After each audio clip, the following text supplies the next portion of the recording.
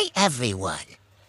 I was busy chewing my toilet paper roll, but then Sissy interrupted me and said we're going to the dog park. I was very happy to hear that. We weren't going yet, but I will show you guys what happened soon. Bye for now.